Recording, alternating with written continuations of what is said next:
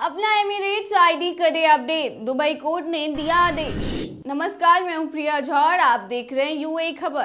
Dubai में सभी निवासियों और प्रवासियों को अपना एमिरेट्स आईडी अपडेट करने को कहा गया है।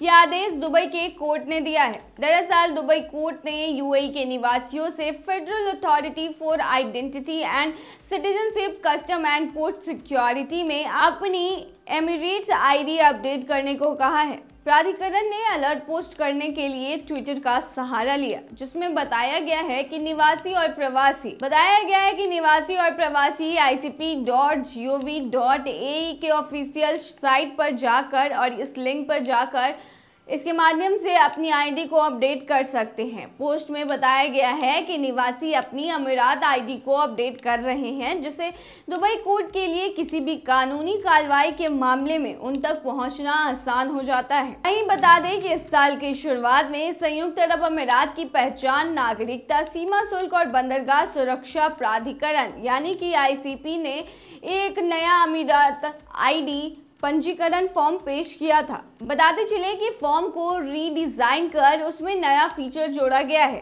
फॉर्म के ऊपर बाई और आवेदकों की फ़ोटो लगाई जाएगी, जिस पर कंपनी को कार्ड दिया जाएगा। जिस कंपनी को कार्ड दिया जाएगा, उसका नाम फॉर्म के नीचे बाई और उसके पते के साथ लिखा जाएगा।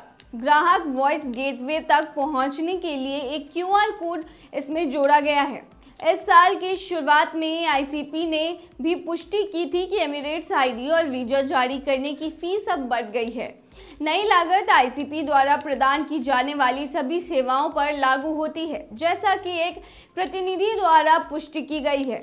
नए नियम के अनुसार अब एमिरेट्स आईडी की कीमत 270 दहरम जो भारतीय मुद्रा में छह हज़ार छप्पन रुपए कुछ पैसे होते हैं, उसके बजाय अब 370 दहरम होंगे, जो कि भारतीय मुद्रा में आठ हज़ार होते हैं। वहीं एक महीने का विज़िट वीज़ा जारी करने का शुल्क भी अब बढ़ गया है। पहले यह 270 दहरम था, यानी कि छह हज़ार थे। अब इसके बजाय अब ये 370 दहरम हो गया है, यानी कि आठ हज़ार इसके लिए आपको शुल्क भुगतना होगा। वहीं आपको बता दें कि यूएई में रह रहे प्रवासियों के लिए खुशखबरी है। दरअसल संयुक्त अरब अमीरात में एमिरेट्स आईडी कार्ड और पासपोर्ट रिन्यूअल के लिए एक नई सुविधा की घोषणा की गई है। यूएई में एक से, नई सेवा लॉन्च की गई है जिसकी मदद से यूएई से बाहर रहते हुए भी एमिरेट्स आईडी कार्ड और पासपोर्ट को रिन्यू किया जा सकेगा। यानी कि इन्हें दुनिया के किसी भी कोने से रिन्यू करा सकते हैं। Federal authority for identity and citizenship customs and port security के द्वारा की गई यह पहल लोगों के लिए काफ़ी मददगार साबित होने वाली है। लोग इस सेवा का लाभ कुछ शर्तों के साथ उठा सकते हैं।